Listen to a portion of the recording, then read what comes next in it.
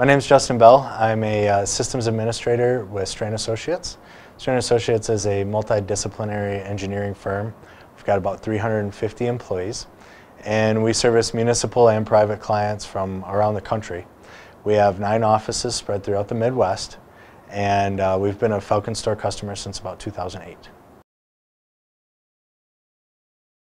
Our IT infrastructure consists mostly of Microsoft Windows servers. We run uh, 2008 R2 as well as 2008 and 2003 servers. We run mostly Microsoft Exchange and SQL um, as far as our business apps are concerned. We have files spread across servers in all of our offices across the Midwest. And our users need to access files from any given office at just about any given time. We had determined that we wanted to have an RPO under an hour and an RTO under an hour. Our current infrastructure was a tape drive in each of our offices. Um, that gave us lots of problems because we didn't have an IT person in every office. Our recovery time objective wasn't good because we didn't have anyone local who knew how to recover the data. And we knew that if something happened, we had to both recover a backup server and then also get the tape, index it, and recover the data and wait until it copied to actually use it. We ended up picking FalconStor CDP because it was very obvious from the very first demos that we had of it that the RPO could be very short.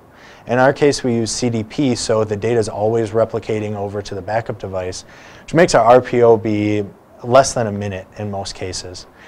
Our recovery time objective got uh, decreased because we can do a bare metal recovery in a matter of 15 to 20 minutes of a server should you know, we have a hardware failure and need to bring it back up.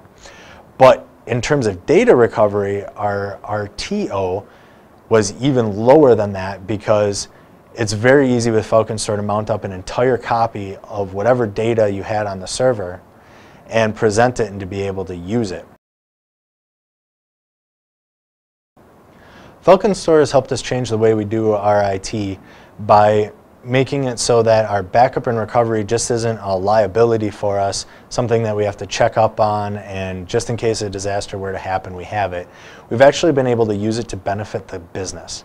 We perform quite a few restores, probably on the order of 500 to 600 a year for our engineers.